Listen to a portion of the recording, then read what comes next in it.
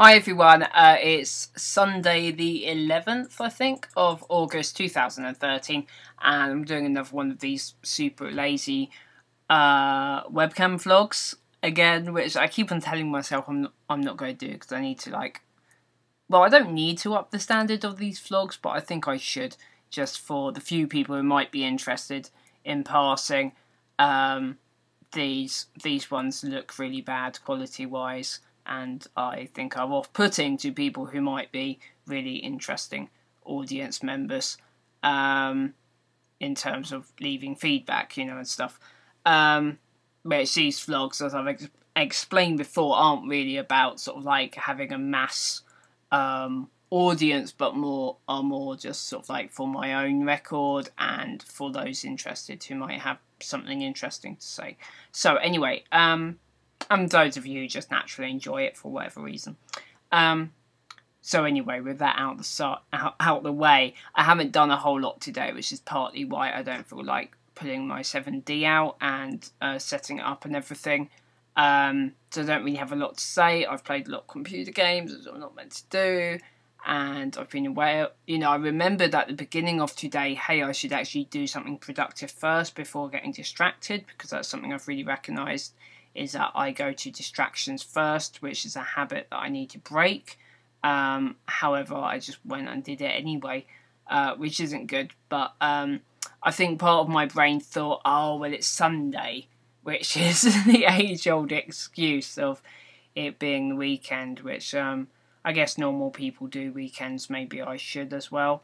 I just feel like because um, I really want to get stuff set up and established and have some kind of success before the end of the year, um, I do feel um, quite a bit of pressure that kind of I should be doing something every single day, regardless of if it's the weekend or not, you know.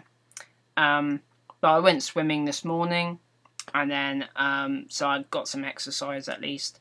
Um, but then I've just been just on YouTube and Twitter and playing games. Um, I've been playing quite a lot of Super Hexagon lately, which is something I don't think I've mentioned, but I kind of dip into that every day and just slowly get better and better. So it's extremely hard, but it's quite fun. Um, slowly getting better at it, and then it feels like a real achievement when you actually complete a level. Like I've completed the first two levels, and um, there's only six in total. Um, so I'm just making noise. Um, what else? In Animal Crossing, I got a petal tail dragonfly, which I was really worried I wasn't going to get um, because a couple of days they only appear between five and seven, and a couple of days I logged in at five and you know with and had some you know TV on or sort of like listened to a podcast while just running around looking for one for like one and a half hours, and didn't find one and read up about it and um, a couple of guides say, oh, well, the more flowers and trees you have, uh, the less likely they are to appear because flowers and trees, um, you know, like spawning grounds for other types of insects. So it kind of reduces the space that a petal tailed dragonfly can spawn in, yada yada. So I was thinking, oh, I need to cut down a load of trees maybe. And then my axe broke. This is really interesting story, right? And then, um, but I just logged in today at like half five. I went, oh, it's half five. Maybe I should have a quick look, see if I can find the petal tail. Logged in, um, walked across to my town square, just like first direction I went, and there was just one there. Um, I thought that's got to be it. It looks really big. Um, apparently, they're really hard to catch uh, if they do start running away because they're really fast. But luckily, it was quite close to me, and I just like took one or two steps and kind of aimed and just grabbed it really quick before it moved. Um, so yeah, I'm happy with that. So anyway, well, anyway, that's my petal tail dragons dragonfly story. So I didn't have to chop down trees in the end after all. I just got lucky.